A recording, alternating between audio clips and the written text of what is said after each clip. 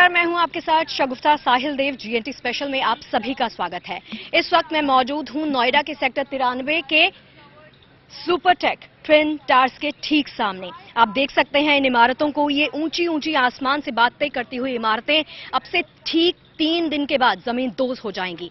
28 अगस्त को महज 9 सेकंड्स के भीतर इनका नामो निशान मिट जाएगा। इस पूरे प्रोसेस को अंजाम कैसे दिया जाएगा, आपको दिखाएँगे, लेकिन इससे पहले ये बता दें कि साढ़े तीन हज़ार किलोग्राम विस्फोटक का इस्तेमाल किया जाएगा इन इमारतों को ध्वस्त करने के लिए। ये रिपोर्ट ज़रूर देखिए।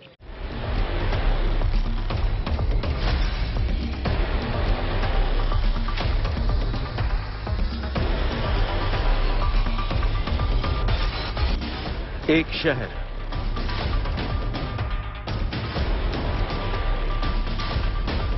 दो टावर। चालीस मंजिल।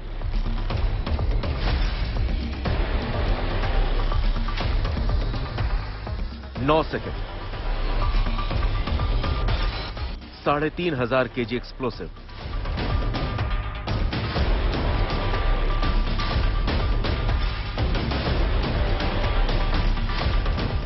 टावर जमींदोज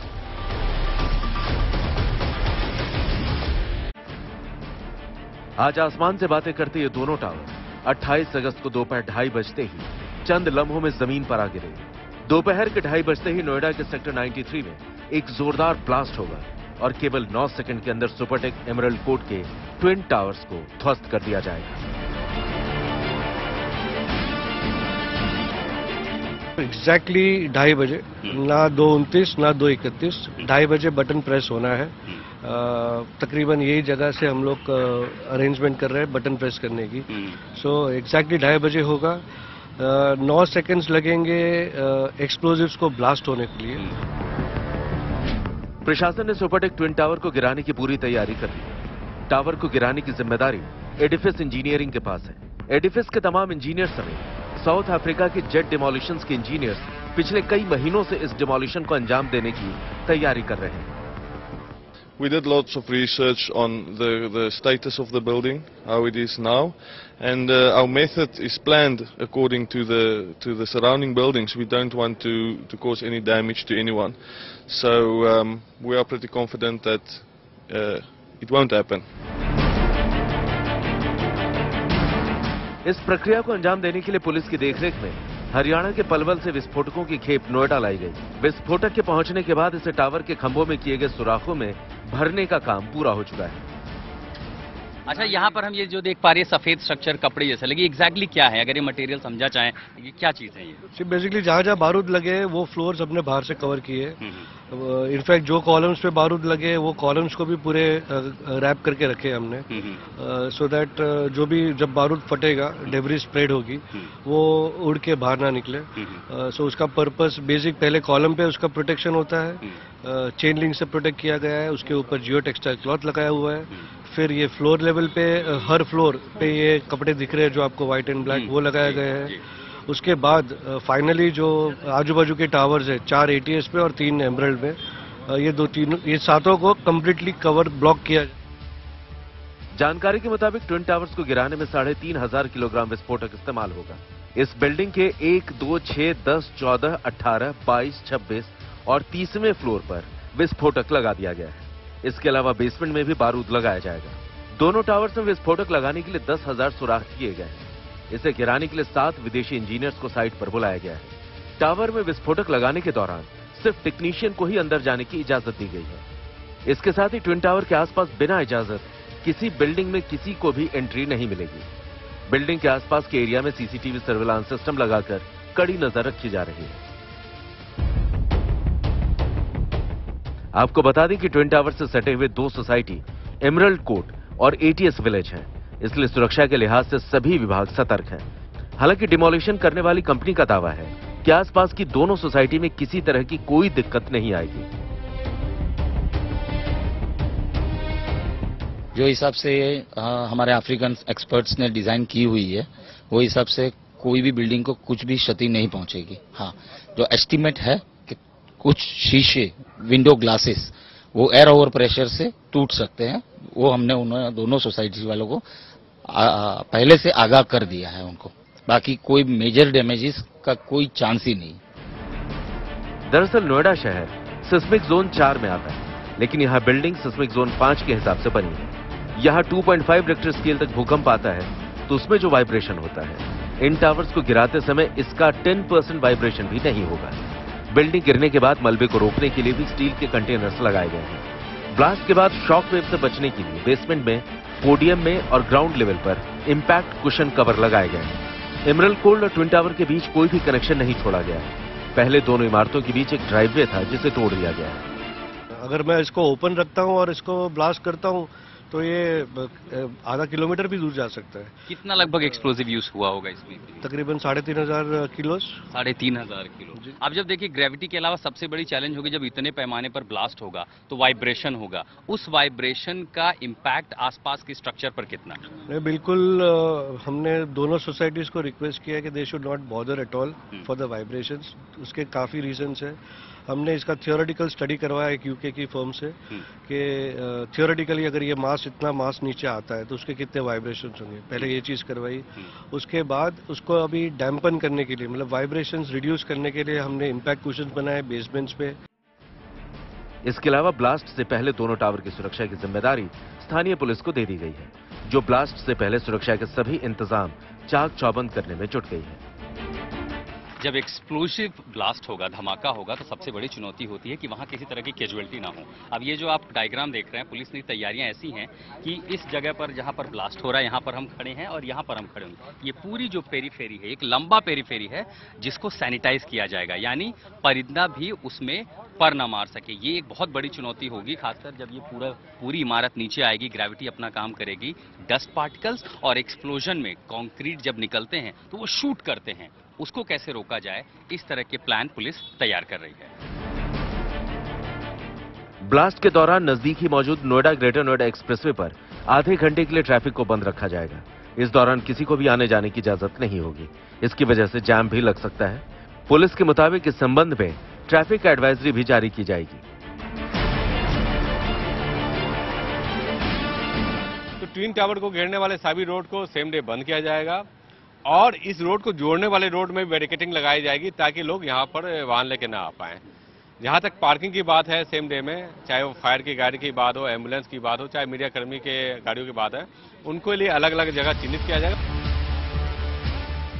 आपको बता दें कि ट्विन टावर को पहले 21 अगस्त को ध्वस्त किया जाना था, लेकिन नोएडा पुलिस और सीबीआरआई से एनओसी नहीं मिलने के कारण विस्फोटक समय पर नहीं आ पाया था, जिसकी वजह से ब्लास्ट की तारीख बढ़ाकर 28 अगस्त कर दी गई।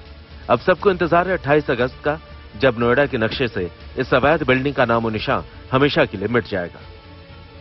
नोएडा से अभिषेक आनंद, आशुतोष मिश्रा और श्वेता झा के साथ bureau report, good news today. देखिए, एक अपार्टमेंट बुक करना, एक घर लेना आमतौर पर हर किसी का सपना होता है। लोग अपनी पूरे जीवन की कमाई उसमें लगा देते हैं। यहाँ पर जिन लोगों ने घर लिया होगा, उनके लिए शुरुआत से ही ये नुकसान का सौदा साबित हुआ है। अब आसपास के जो लोग हैं उनके मन में संशय इस बात का है कि कहीं इस पूरे डिमोलिशन प्रोसेस के बाद उनके घरों पर किस तरह का नुकसान होगा। ये पूरे प्रोसेस को आ, अंजाम देने के लिए प्रशासन ने तैयारी कड़ी कर दी है ताकि किसी को किसी प्रकार का नुकसान ना हो। इस रिपोर्ट के ज़रिए जानिए कि किस तरह से तैयारी की गई है।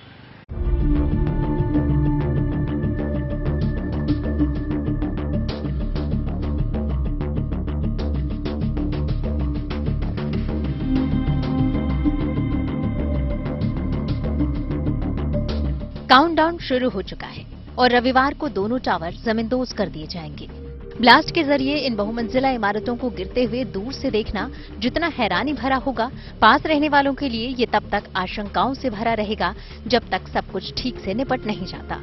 ज़ाहिर है ट्विन टावर के पास बनी एमराल्ड और एटीएस सोसाइटी में रहने वालों के लिए रविवार का दिन दिल की धड़कने बढ़ाने वाला होगा। पूरा दिन बाहर निकलना है और शाम को भी वापस आने देंगे कितने बजे आने देंगे डस्ट क्लाउड कितना रहेगा उसकी वजह से पोल्यूशन का कितना इम्पैक्ट होगा यही सब चीज़ें मन में वही डिस्कशन चल रहा है। दिमाग में तो धड़कन चली रही है इस टाइम की गिरेगी तो मतलब क्या प्रॉब्लम आ सकती है हमारे साथ में?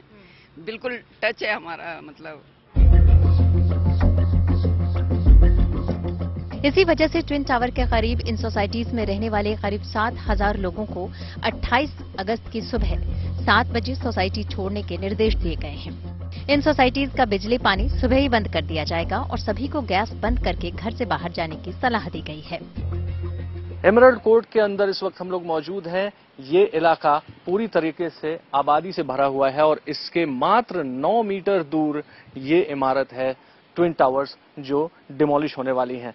ये तमाम लोग जो अभी यहाँ पर रह रहे हैं ये तमाम कारें सब कुछ यहाँ से हटेंगी सब लोग यहाँ से जाएँगे कहाँ जाएँगे कैसे जाएँगे कैसे रहेंगे क्या दिमाग में चल रहा है ये बताने के लिए हमारे साथ स्थानीय निवासी अश्विनी जी हैं। अश्विनी जी दिलों की धड़कन तो तेज हो रही है बहुत ज़्यादा। बहुत पास आ रही है तारीख। हाँ जी। हम्म, क्या क्या प्लान है सर? कैसे आप लोगों ने इस, इससे निपटेंगे? सर निपटना क्या बस एक दिन पहले हम लोग शिफ्ट होंगे यहाँ से। आरडब्ल्यू का कहना तो ये है कि अर्ली मॉर्निंग सेवन हम लोग शिफ्ट हो सकते हैं। बट हम लोग अपने कन्वीनियंस के अकॉर्डिंग एक दिन पहले ही शिफ्ट हो जाएँगे। एंड ट्वेंटी एट्थ को भी नहीं होंगे ट्वेंटी नाइन्थ की इवनिंग में हम लोग आएँगे वापस। डिमोलिशन के दिन जहाँ कई परिवार अपने रिश्तेदारों के घर जा रहे हैं तो वहीं पास ही मौजूद पूर्वांचल सिल्वर सिटी और पार्श्वनाथ प्रेस्टीज जैसी सोसाइटीज ने अपने कम्युनिटी हॉल्स में इन लोगों के लिए अस्थायी शेल्टर भी बनाए हैं। ब्लास्ट के दौरान यहाँ आकर रुकने वाले लोगों को किसी तरह की दिक्कत न हो। इसके लिए इन कम्युनिटी हॉल्स में खास इंतज़ाम किए गए हैं। ट्विन टावर ब्लास्ट के दौरान एमरल्ड कोर्ट के लोगों के रहने के लिए पास की ही सोसाइटी के लोगों ने मदद की है। इस वक्त हम लोग पार्सनाथ प्रेस्टीज में हैं। आप देख रहे हैं, नया एसी आकर के रखा हुआ है। ये उनका कम्युनिटी हॉल है और कम्युनिटी हॉल के सारे कमरे, सात कमरे हैं इसमें, तीन फ्लोर नीचे हैं। बेसमेंट में दो हैं और ऊपर एक है। ये सारे कमरे उनके लिए बुक हैं। डेढ़ सौ से ज़्यादा की कैपेसिटी है क्योंकि बाहर टेंट भी लग रहा है। ये सारे कमरों में आप देख रहे हैं चेयर्स लगनी शुरू हो गई हैं। एसी भी लगने का काम शुरू हो गया है। डेढ़ सौ लोग सुबह सात बजे से ही यहाँ पर आकर के पूरे जब तक ब्लास्ट की कार्रवाई खत्म नहीं हो जाती है, तब तक यहाँ रुके रहेंगे। एडिशनल जो स्पेस है, उसको भी टेंट लगा करके क्रिएट किया जा रहा है। स्विमिंग पूल को ढकने की भी व्यवस्था कर दी गई है। ब्लास्ट के दौरान यहाँ रुकने वाले परिवारों को अपने घर से दूर रहते हुए भी किसी परेशानी का सामना न हो, इस बात का खास ख्याल रखा जा रहा है। पड़ोसी धर्म निभाते हुए इन सोसाइटीज के लोगों ने यहाँ आने वालों के लिए खाने पीने से लेकर आराम और मनोरंजन तक तमाम इंतज़ाम कर दिए हैं। यहाँ पे सात बजे सब आना शुरू हो जाएँगे तो उनके ब्रेकफास्ट का अरेंजमेंट उनके लंच का इवनिंग स्नैक्स का, वो सब खाने पीने का अरेंजमेंट प्लस उनके यहाँ बैठने की उचित व्यवस्था सीनियर सिटीजन्स के लिए, जैसे बेडिंग वगैरह अगर उनको लेटने की रिक्वायरमेंट अरेस्ट करना है, बाकी सबके लिए sitting arrangement table chairs and all यहाँ पे कुक रहेगा पूरा टाइम जो कि उनके खाने की सारी व्यवस्था को देखेगा और हमारा मेंटेनेंस स्टाफ होगा उनकी किसी भी तरह की देखभाल करने के लिए। प्लस यहाँ पे हम टीवी वगैरह या प्रोजेक्टर वगैरह लगा के जो भी न्यूज़ पे अपडेट्स आ रहे होंगे प्लस जो जिस टाइम डेमोलेशन चल रहा होगा तो उसका टेलीकास्ट वगैरह सब ताकि वो लोग देख सकें। इतना ही नहीं, बल्कि ब्लास्ट के दौरान किसी भी तरह की मेडिकल इमरजेंसी से निपटने के लिए पास ही मौजूद फेलिक्स अस्पताल भी आगे आया है। फेलिक्स अस्पताल ने ट्विन टावर्स के आसपास की इमारतों में पहले से मौजूद मरीजों को अपने यहाँ शिफ्ट करने का इंतज़ाम किया है। इसके साथ ही ब्लास्ट के दौरान पेश आने वाली किसी भी मेडिकल इमरजेंसी से निपटने के लिए अपने यहाँ एक 50 बेड का वार्ड तैयार रखने का भी इंतज़ाम किया है। ट्विन टावर जो ध्वस्त हो रहे हैं, उसकी वजह से अगर कोई मेडिकल इमरजेंसी क्रिएट होती है उसके लिए फिलिक्स हॉस्पिटल पूर्ण रूप से तत्पर है। जितने मरीज़ ऑलरेडी वहाँ पे हैं, जिनको नर्सिंग की मेडिकल केयर की ज़रूरत है, उनको हम पहले से ही शिफ्ट कर रहे हैं। ऐसे मरीज़ की संख्या 10 से 15 के बीच में, जिनको हम ट्विन टावर ध्वस्त करने से पहले ही, दो दिन पहले ही फिलिक्स हॉस्पिटल में शिफ्ट कर देंगे। उनको जब तक रखा जाएगा, जब तक मेडिकल ट्रीटमेंट या नर्सिंग केयर दी जाएगी, जब तक वो पूरा फिट नहीं हो जाते या जब तक वहाँ पर रहने की स्थिति ठीक नहीं होती। दूसरा, अगर कोई मेडिकल इमरजेंसी होती है तो हमारे जो एम्बुलेंसेस हैं, हमारा जो नर्सिंग स्टाफ है इमरजेंसी स्टाफ है डॉक्टर्स हैं पैरामेडिकल स्टाफ है ईएमटीज है, वो पूरा तत्पर रहेंगे, तैयार रहेंगे हाई अलर्ट पे रहेंगे उस समय किसी भी समस्या को, किसी भी दुर्घटना को मैनेज करने के लिए। अगर कोई मेडिकल इमरजेंसी होती है और किसी को भर्ती करना पड़ता है तो उसके लिए फिलिक्स हॉस्पिटल में 50 बेड रिज़र्व किए गए हैं। उनको सबको अगर शिफ्ट करना पड़ता है, उनको शिफ्ट करके उनको ट्रीटमेंट की पूरी प्रक्रिया दी जाएगी। इस वार्ड में रूटीन ट्रीटमेंट से लेकर चोट में घायल हुए लोगों के इलाज तक के लिए सभी मुकम्मल इंतज़ाम किए गए हैं। डेमोलिशन की प्रक्रिया की पहले तैयारी कई स्तर पर की जा रही है। सबसे बड़ी बात यह भी है कि ट्विन टावर के ठीक बगल में जो रेजिडेंशियल सोसाइटीज हैं, वहाँ पर कई सारे ऐसे लोग रहते हैं जिनके घर में कोई ना कोई बेड पर है मतलब एक तरह से पेशेंट है।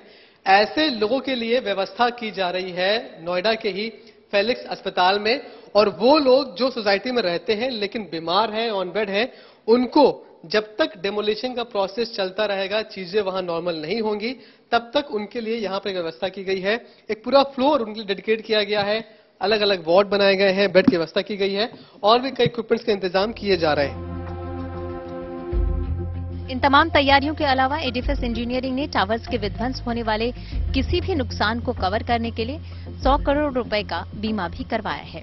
यानी सभी तैयारियाँ पूरी हो चुकी हैं। लेकिन इन सब के बावजूद सुपरटेक ट्विन टावर्स के आसपास रहने वाले लोगों को उन पलों का इंतज़ार है जब धमाके और धूल का गुबार छटेगा और रविवार की शाम को वो अपने घर वापस लौट सकेंगे।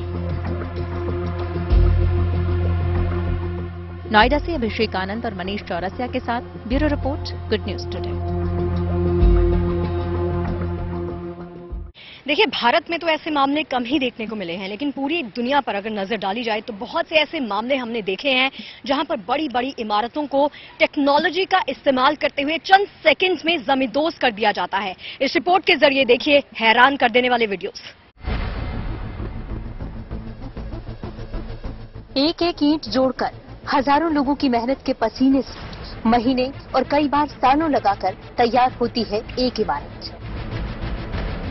गहरी नींव मज़बूत ढांचा, टिकाऊ डिज़ाइन, जाने कितनी ही बातों का ख्याल रखा जाता है। तब जाकर एक लंबे अरसे में तैयार होती है, बादलों से बातें करती ऊँची इमारतें।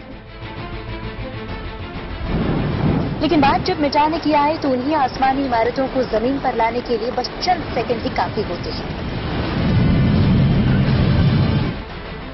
ठीक इसी तरह 28 अगस्त को सुपरटेक के ट्विन टावर भी इतिहास के पन्नों में दफन हो जाएँगे। दिल्ली एनसीआर समेत देश भर के लोगों की निगाहें इस पूरे घटनाक्रम पर टिकी हुई है। दरअसल बहुमंजिला इमारतों को मिनटों में गिरा देना हमारे देश के लिए आम बात नहीं है। लेकिन वही दुनिया के कई देशों में कई बार ऐसी घटनाएँ देखी गई हैं। ये नज़ारा चीन के कुनमिंग का है, जहाँ महज 45 सेकंड्स में एक साथ 15 इमारतों को ध्वस्त किया गया था। लियांग स्टार सिटी के इस अधूरे प्रोजेक्ट को निस्तनाबूद करने में 4.6 टन एक्सप्लोसिव का इस्तेमाल हुआ था। पचासी हज़ार ब्लास्टिंग पॉइंट्स पर लगाए गए इस बारूद ने एक मिनट से भी कम समय में पंद्रह ऊँची इमारतों को मिट्टी में मिला दिया था। इससे पहले आसपास के इलाके में 2000 घरों में रहने वाले 5000 से ज़्यादा लोगों को सुरक्षित जगहों पर पहुँचाया गया था। एक एक ईंट जोड़कर हज़ारों लोगों की मेहनत के पसीने से महीने और कई बार सालों लगाकर तैयार होती है एक इमारत। गहरी नींव, मज़बूत ढांचा, टिकाऊ डिज़ाइन, जाने कितनी ही बातों का ख्याल रखा जाता है।